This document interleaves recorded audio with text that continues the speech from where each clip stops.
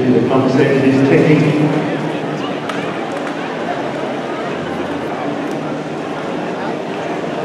Making sure the riders are all settled and still getting in the straight.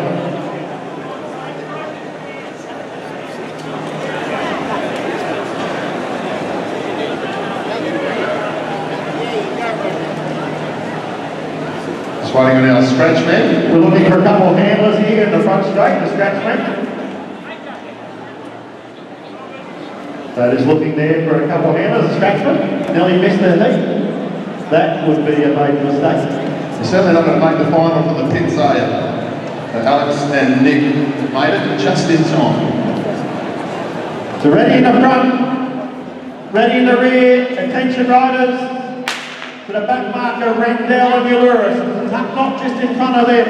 And then we come round to the front marker. He already sees five to go on the board, mate. Ernie Tesconi is the man out front. He's got all the work to do. Fast Freddie Landon's got a good mark here today. The back markers getting together. Rendell, Yallouris and Tucknott. They've got five laps to get themselves to the front. They don't have to win it. They just have to get into the top six. Get behind the hour markers as they come through. Tesconi leaps through. Tesconi there, Max Collier it is. So Collier, he's out there. They're being chased along by Matt Howlett. Then you've got the middle group and the scratchman. Look at that, Tucknott, Rendell and Yallouris.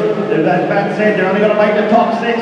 But Tesconi and that out the front. But now you see, goes through. He's got three to go. He's doing a great job, Max Collier. Our markers have got a fair bit of work to do to hang on. The back markers are able to breathe a little bit of a sigh of relief for maybe half a lap. But if they all want to get through to that top six, they're going to have to move because these riders are still going away. There's only going to be about four placings left. Yallouris sees the danger now. Yallouris stepping out. Rendell going with him. Symons up there from Wormwell too. Darcy Pirotta on the tail end of it. But they've got a lot of work to do. They want to give themselves every chance to make the top six for back markers and they've got a long way to go. They come through. Howlett, he's going to make the final, I can tell you. Now they come. Yallouris, Rendell. Then you've got Young Bonser there. Sleeger's there as well. Down the back straight, he's trying to hold on. Yallouris coming. He's going to be in the final, along with Rendell. Howlett, he's then tied. He's trying to hold on to the top six. Yallouris in the final. Rendell. Also Bonser, Sleeger's up there, I think Howlett has hung on along with Zamari Malaysia. The Tucknott and Pirotta, the two that will miss out there just on the tail end of that sprint in seventh and eighth.